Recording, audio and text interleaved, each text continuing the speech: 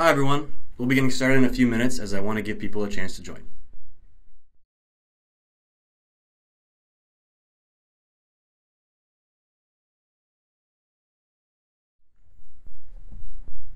Hi, everyone. My name is Charles, and I'm part of our product marketing team here at Facebook. Today, I'd like to talk to you about some of the trends we're seeing with people watching video on our platform and talk about how we're building ad products like in-stream video ads to address how marketers can reach people in the new ways they watch. Before we dive into these topics, I'd like to cover how we think about building for video and how we're committed to investing across the ecosystem so everyone benefits, from people to creators and marketers. First, we want to ensure that people can discover long form content and have a good ad experience that is relevant to them.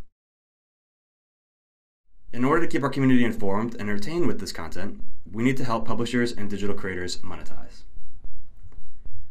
And we need to provide advertising opportunities at scale that allow marketers to tell longer, more complex stories. First, let's dive into how people are consuming video. Mobile has trained people to focus, choose what's relevant, consume what matters, and move on. Mobile has proven that we no longer have the right to disrupt. Instead, as marketers, we have to earn people's attention. And we know that what's getting attention on mobile is video. People are sharing and consuming video in unprecedented volumes, with mobile being the main place for this consumption. Video views on tablets and smartphones now make up more than half, 50.6% to be exact, of all video views, which was only at 15% in 2013. And this trend will continue. Cisco estimates that video will be 75% of all mobile data traffic by 2020, compared to over half now. But not all viewing behavior is the same. People tend to watch video in different settings. Consumption of video has been evolving, from traditionally lean back settings in front of a TV to increasingly dynamic bites throughout the day on mobile. Now, with improved connectivity and access to longer form content, mobile video consumption can also be a planned viewing experience in a lean back environment. And to bring that concept to life, you can see a few examples here across the Facebook family of apps and services.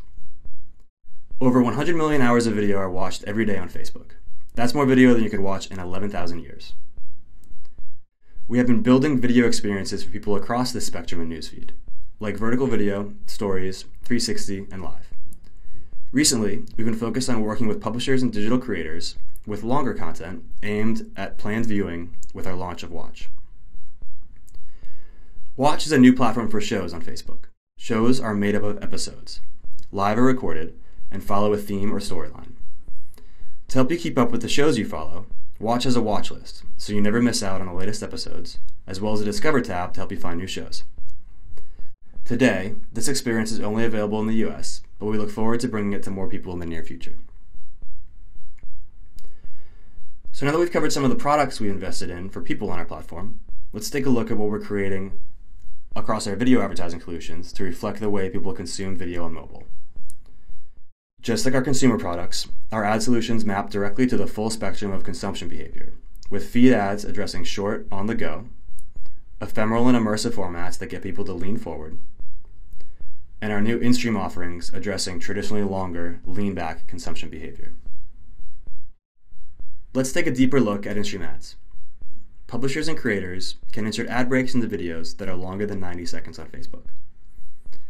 Ad breaks are then filled with in-stream ads using Facebook audience targeting, which means that if you and I are watching the same video but have different interests, we may see a different in-stream ad within that same ad break. In-stream ads travel around Facebook with the content they were inserted into. So these ads can appear in Watch, Newsfeed, or even in videos that are shared on someone's wall, if the publisher had inserted an ad break into it. In-stream ads are 5 to 15 second, non-skippable, mid-roll video ads, and the majority of them are viewed with the sound on. InStream gives marketers the ability to deliver a brand message, drive consideration, or tell a more complex story to people who are actively engaged and watching longer form content on Facebook.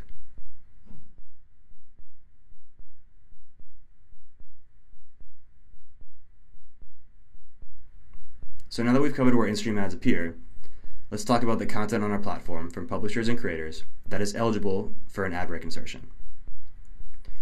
Here are a few of the publishers that are eligible for these ad breaks. These are digital properties that people know and love, and these companies are experienced at distributing across multiple digital platforms, but still have an owned and operated digital home. Creators are digital, social, and video first. Their home is the digital platforms where they distribute their content. They have large, loyal, and often younger followings. This is just a small sample of the publishers and creators that we have in our InStream Ad Breaks program, and this list will continue to grow as we expand into various markets.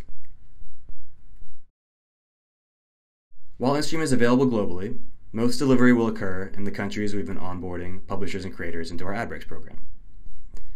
We're planning on expanding our network of high quality, vetted partners globally throughout the remainder of the year. An in-stream placement is also available on the Audience Network. The Audience Network enables you to expand the power of Facebook advertising to reach more people on high quality websites and apps off of Facebook.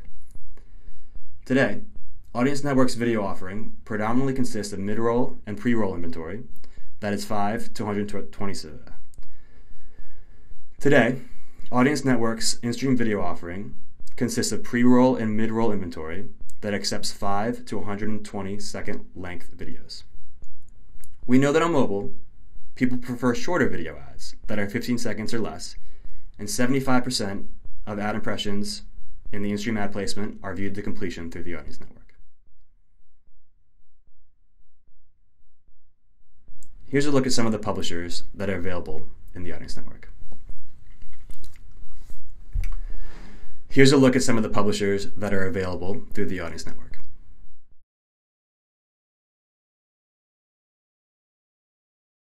We also know that on these placements, context could matter, and understand that marketers want control over where their ads appear. So here's a bit more about our approach to brand safety. At the top of the pyramid is our community standards, which have been in place for years and dictate what is allowed or not allowed on our platform. These apply to people using our platform, advertisers, and publishers and content creators. In the middle is our monetization eligibility standards, which were introduced to provide clear guidance around the types of publishers and creators that are eligible to earn money on Facebook and the kind of content that can be monetized.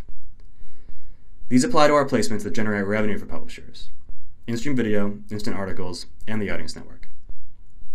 We also plan to increase visibility by allowing marketers to see where their ads could run through pre-campaign publisher lists, and by providing post-campaign publisher lists in the coming months. On the bottom of our pyramid are our brand safety controls. We put these in place to give advertisers confidence and control over where their ads appear. Let's talk more about those. We currently offer the following tools for brands to have more granular control about where their ads run. Placement controls allow advertisers to opt out of specific placements like instant articles, in-stream videos, or the audience network if they do not want to run in these environments. Category blocking gives advertisers the ability to block certain sensitive categories of content in which they don't want their ads to be seen across the audience network, instant articles, and in-stream video for all objectives. And these are done on the content level, not the publisher level.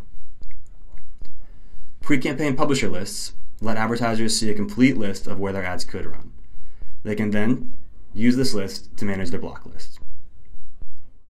Domain, app, and page block lists allow advertisers to upload a list to block ads from delivering on certain websites, apps, or pages. These lists can be found in Business Manager settings under block lists.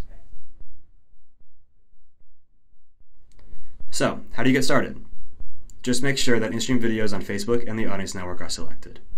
If your creative is eligible, it will run, and results will be broken out by placement in your reporting. Finally, I'd like to recap some of the things that we've covered.